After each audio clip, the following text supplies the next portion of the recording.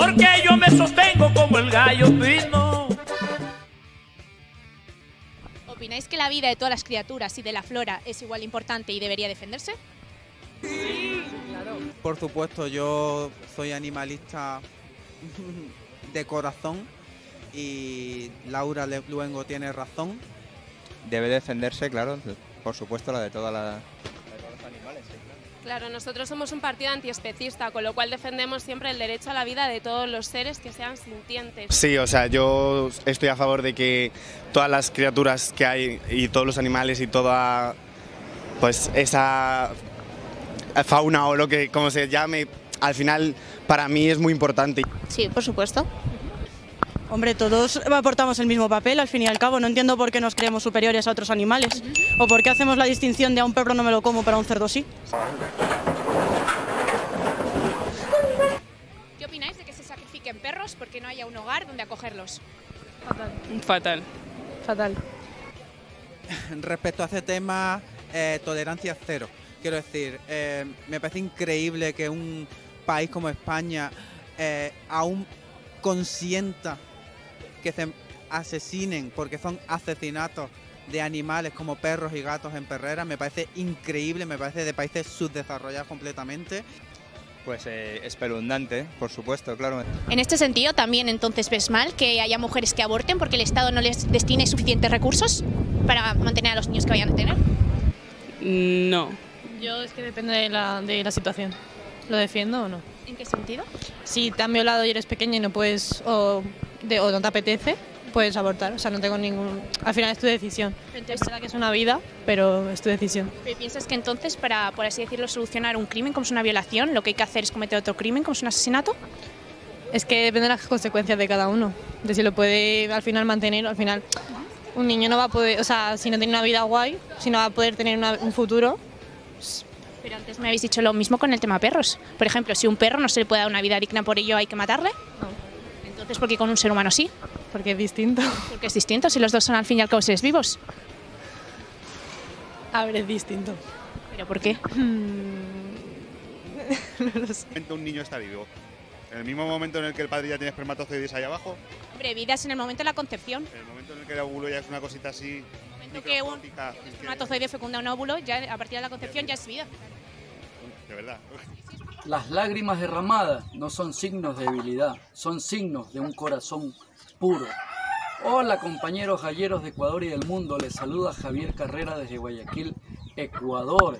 Esta semana tengo mucha tristeza porque repentinamente, aunque fue una semana desde el jueves pasado, que nuestro querido Colmillo, nuestro perrito que lo cogimos de condición de calle, y fue parte de la familia en este año, se nos murió. Se nos murió, digo repentinamente porque el animalito estaba 100% sano. Eh, lo, lo tratamos, lo curamos, todo lo que estuvo a nuestro alcance y lamentablemente ayer murió. Una semana de agonía, una semana de sufrimiento y estoy demasiado triste porque estos animalitos son ángeles en la tierra que nos vienen a, a cuidar, que nos vienen a proteger. Que Dios lo tenga en su gloria. Eh, primero vamos a darle gracias por unas semanas más de estar junto a ustedes. Gracias por ser parte de la familia del criadero Don Javier. Gracias Dios bendito por el pan nuestro de cada día. Gracias por nuestra salud. Gracias por nuestra abundancia financiera. En el nombre de Jesús. Amén. Eh, seguimos siendo Colombia. Todos los, los galleros de Latinoamérica estamos en un solo puño porque el 10 de octubre se va a hacer la gran movilización contra la no pro- prohibición de los gallos de combate en Colombia. Estamos con ustedes, hermanos colombianos.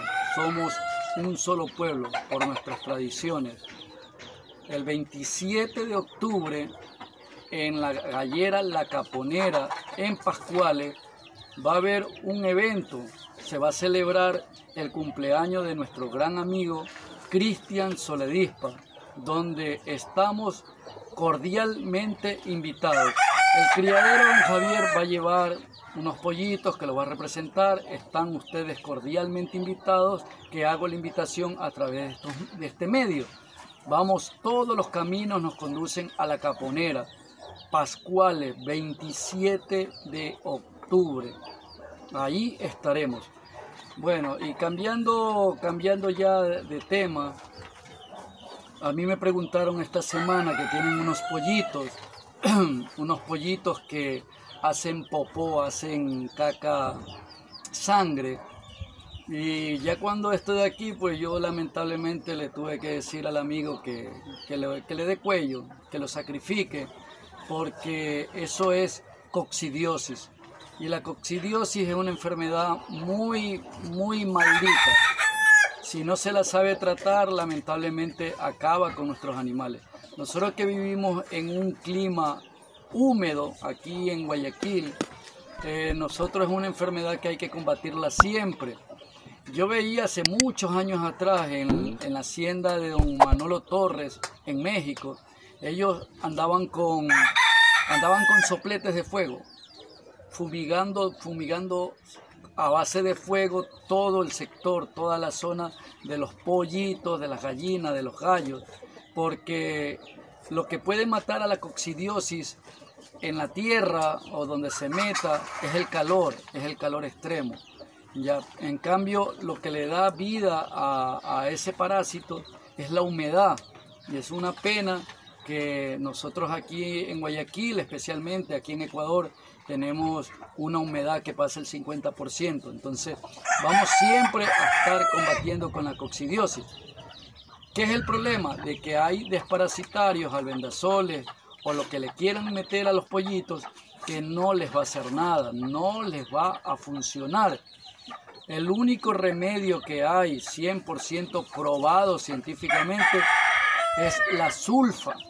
O, o- la, o las sulfamidas, que son el nombre científico. Eso es la única cura que hay para la coccidiosis. La coccidiosis empieza siendo una diarrea blanca, que si te das cuenta es blanco como la leche y después se torna ya como con sangre y este de aquí ya el animalito ya está, está infectado. Eh, este, se transmite de animal a animal. También hay coccidiosis en cerdos, en otros animales, conejos, eh, este, en toda clase de animales. Pero en nuestros animales es mortal porque se mete entre los intestinos, le hace llaga, se le come, se le hace llaga y el animalito comienza a defecar sangre. Entonces es un problema muy grande que si no se lo sabe tratar es complicado. Lo único es- son las sulfamidas, la sulfa. Antiguamente aquí en Ecuador en las boticas se compraba sulfiatas, sulfatiazol, pero ya eso está prohibido, pero en lugares veterinarios sí se consigue, se le da en el agua. Se le puede dar tres días o cuatro días seguidos descansan 3-4 días y les vuelven a dar 3-4 días más y así sucesivamente para acabarla de raíz, o si no, esa enfermedad no se puede acabar. Ese parásito es uno de los parásitos más malditos que hay en, en el mundo de las aves. Ya en las industrias eh, avícolas que utilizan ya gastan muchos millones, ellos tienen hasta detergente para para luchar contra este mal, pero nosotros que tenemos cuatro animalitos tenemos que hacerlo de la mejor manera. Y la mejor manera es utilizar su- sulfa- sulfamidas, que eso lo- los protege. No sé qué más podría decirle, porque no hay desparasitarios no hay que pueda combatir a, a la coccidiosis. Lo, lo único son las sulfas. Ya, entonces voy a invitar hoy a mi linda modelo, la niña Iraide. Es malo que los pollitos hagan popó sangre, como mi perrito Carmillo que, se murió que hizo popó sangre.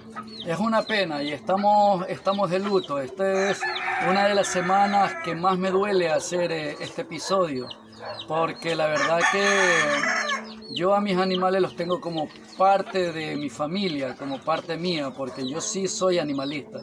Yo sí me considero animalista, porque yo acepto, eh, acepto el rol de cada animal en la naturaleza.